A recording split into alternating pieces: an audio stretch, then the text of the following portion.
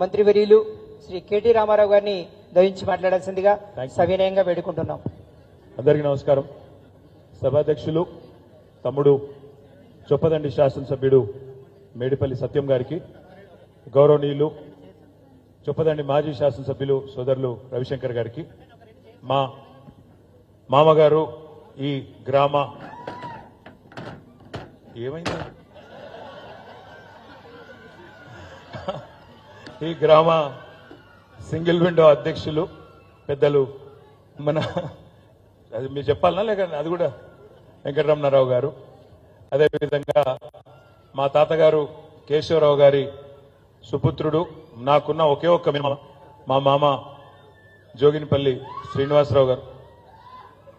ఇద్దరు ఎవరన్నా ఆగవాటూరు పోయాను మరీ ఎక్కువ అదేవిధంగా సెస్ అధ్యక్షులు గౌరవనీయులు చిక్కాల రామారావు గారు మార్కెట్ కమిటీ చైర్మన్ గారికి వేదికపై ఆసీనులైన మా గౌరవనీయులైన ప్రధానోపాధ్యాయులు అదేవిధంగా మాజీ జెడ్పీ చైర్మన్ అరుణ రాఘవరెడ్డి గారు అదేవిధంగా గౌరవనీయులు సిరిసిల్ల మున్సిపల్ చైర్మన్ సోదరి జిందం కల గారు ఇంకా వేదికపై ఆసీనులైన కొండయ్య గారు ఇంకా ఉమా గారు పేరు పేరున అందరికీ నేను ఎవరెవరి పేర్లు చెప్పలేదో వాళ్ళు జర పార్టీలకు అతీతంగా మనసులను తిట్టుకోండి బయటికి తిట్టొద్దని కోరుతూ మరి వేదిక ముందున్న మా కొదురుపాక గ్రామ అన్నదమ్ములకు అక్క చెల్లెలకు పాత్రికేయ మిత్రులకు మండలంలోని నియోజకవర్గంలోని వివిధ ప్రాంతాల నుంచి చేసిన నాయకులందరికీ ప్రజాప్రతినిధులందరికీ పేరు పేరున హృదయపూర్వకంగా నమస్కారం.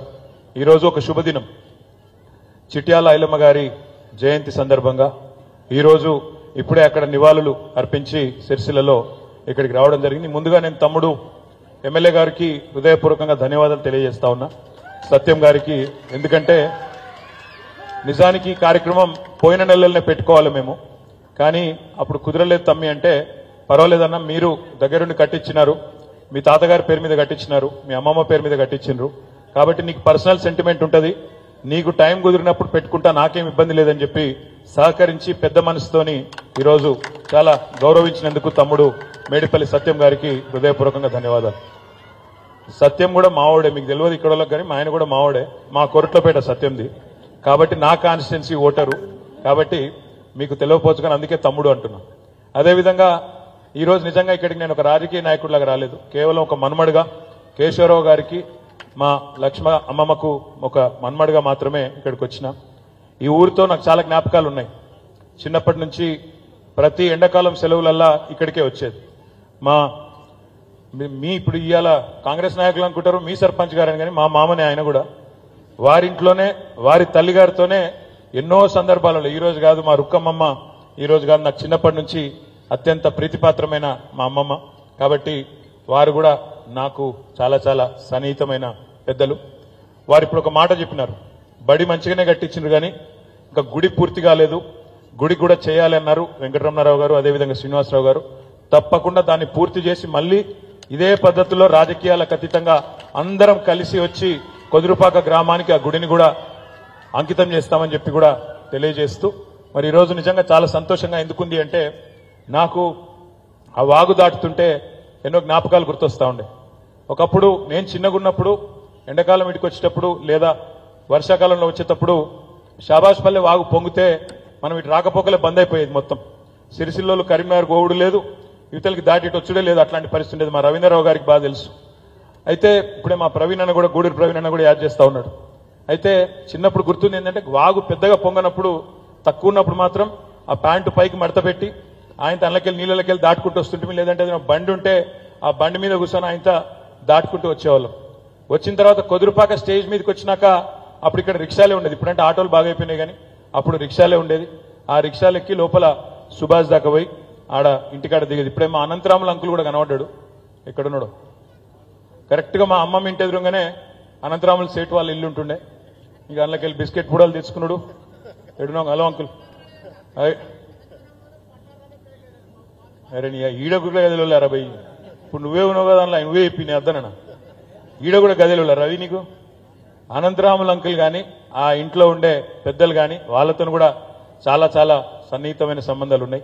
కొదురుపాక గ్రామానికి నిజానికి తర్వాత మునిగిపోతుంది ఊరు మిడిమానేరులో పోతుందంటే అందరికంటే ఎక్కువ బాధపడ్డ వాళ్ళలో నేను కూడా ఉన్నా. ఎందుకు అంటే మా నాయనమ్మ ఊరేమో పైన అప్పర్ మానేర్లో మునిగిపోయింది. నాయనమ్మ గారి ఊరు పైన ఈరోజు అప్పర్ మానేరు ఎక్కడైతున్నదో దానిలో పోసాన్పల్లి అనే ఊరు కామారెడ్డి తాలూకా కిందికి వస్తుంది అది ఎప్పుడో నైన్టీన్ ఫార్టీస్లో మునిగిపోయింది. తర్వాత లోవర్ మానేరు కట్టినప్పుడు మా ఇంకొక అమ్మమ్మ ఊరు వచ్చనూరు అది పోయింది. మళ్ళా తర్వాత మిడ్ మానేరు కట్టేటప్పుడు మా అమ్మమ్మ ఊరు కొదురుపాక ఇటు పోయింది. కాబట్టి మూడు మానేరు డ్యాములు ఉంటే upper Maneru dam lower Maneru dam mid Maneru dam మా మూడు ఇండ్లు పోయినాయి. అందులో నాయనమ్మ ఊరు పోయింది ఇంట్లో అమ్మమ్మ ఊరు పోయింది అందులో ఇంకొక అమ్మమ్మ ఊరు వచ్చనూరులా అది కూడా పోయింది. కాబట్టి నిర్వాసితుల బాధలు మా తమ్ముడు రవీందర్ చెప్పిండు నాకు అర్థమైంది. నిర్వాసితుల బాధలు ఇంకా చాలా కష్టాలు ఉండవచ్చు కాక కానీ తప్పకుండా వాటిని పరిష్కారం మా శాయశక్తులు మేము చేసినాం. ఏమైనా మిగిలిపోయి ఉంటే ఏమైనా ఇంకా కూడా దొరకని వాళ్ళు ఎవరైనా ఉంటే తప్పకుండా వారికి మరి మీ ఎమ్మెల్యే గారు నేను కూడా కలిసి అవసరమైతే ప్రభుత్వంలో ఉండే పెద్దలతో మాట్లాడి న్యాయం చేయించే ప్రయత్నం చేస్తామని చెప్పి కూడా తెలియజేస్తూ మళ్ళీ ఒక్కసారి అమ్మమ్మ ఊరికి తిరిగి వచ్చినందుకు చాలా సంతోషంగా ఉంది.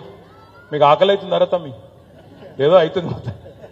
మా మా తాతగారు నిజానికి ఎక్కడ ఉన్నా ఈరోజు వారు తప్పకుండా వారి ఆత్మ తప్పకుండా సంతోషిస్తుందని నేను మనస్ఫూర్తిగా అనుకుంటా ఉన్నా. ఎందుకంటే ఆయనకు చాలా ఇష్టమైన ఊరు కుదురుపాక ఎంతో ఎప్పుడు ప్రతి సందర్భంలో ఇక్కడికి తీసుకొచ్చేది మమ్మల్ని అందరినీ మనవలు మనవరాలందరినీ కూడా ఇక్కడ తీసుకొచ్చేది. అట్లాంటిది వారి జ్ఞాపకార్థం మా అమ్మమ్మ జ్ఞాపకార్థం ఇక్కడ ఇవాళ బడి కట్టినాం.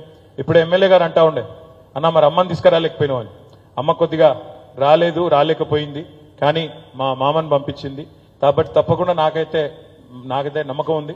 మా తాతగారి ఆత్మ ఇక్కడ ఉన్నా అమ్మమ్మ గారి ఆత్మ ఎక్కడ ఉన్నా తప్పకుండా వారు శాంతిస్తారని చెప్పి అనుకుంటూ ఇంకా ఏదైనా బడికి కానీ కొదురుపాక ఊరికి కానీ కావాలి అంటే సరే ఇలా నేను ప్రభుత్వంలో లేకపోవచ్చు కానీ తప్పకుండా నా వ్యక్తిగతమైన ఒక మన్మడుగా కొదురుపాక మన్మడుగా ఎల్లవేళలా కుదురుపాకకు అండగా ఉంటాననే మాట కూడా తెలియజేస్తూ తప్పకుండా మళ్ళొకసారి ఈ కార్యక్రమానికి సహకరించిన ఎమ్మెల్యే గారికి అధికారులకి పిల్లలకి ఉపాధ్యాయులకి పేరు పేరున అందరికీ కూడా హృదయపూర్వకంగా నమస్కారాలు ధన్యవాదాలు. గుడి కూడా తప్పకుండా పూర్తి చేసి అదే చెప్తున్నాను.